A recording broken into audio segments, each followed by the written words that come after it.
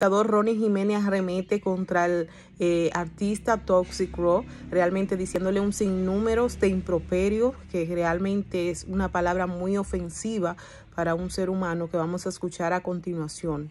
Te invito a que te suscribas al canal, que le dé like al video. Bendiciones y escuchemos de verdad no anda, no viste como él. Porque Toxicro, independientemente de todo, se ve asqueroso, se ve sucio. No, ya sí, no. Toxicro, por más que se ponga una ropa, se ve asqueroso y se ve sucio.